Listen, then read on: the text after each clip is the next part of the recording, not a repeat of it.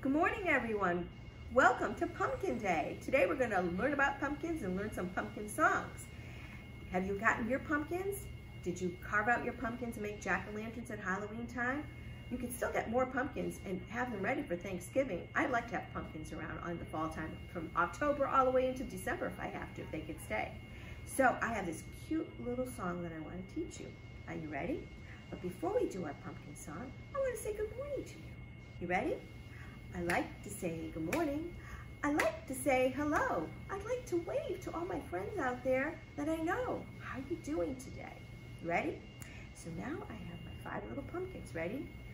Now, we've usually done the five little pumpkins. We usually we say five little monkeys. But today we're going to, instead of monkeys, we're going to use pumpkins. You ready? Five little pumpkins jumping on the bed. One fell off and bumped his head. Mama called the doctor and the doctor said, put that little pumpkin to bed. So how many pumpkins do we have? One, two, three, four. Four little pumpkins jumping on the bed. One fell off and bumped his head.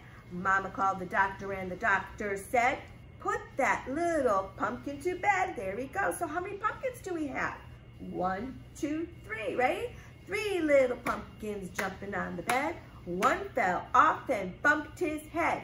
Mama called the doctor and the doctor said, put that little pumpkin to bed. Here he goes, bedtime. How many pumpkins are left? Two.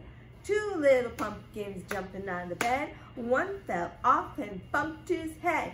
Mama called the doctor and the doctor said, put that little pumpkin to bed. Uh-oh, how many pumpkins are left? One. One little pumpkin jumping on the bed. He fell off and bumped his head. Mama called the doctor and the doctor said, put those pumpkins back to bed. Good night.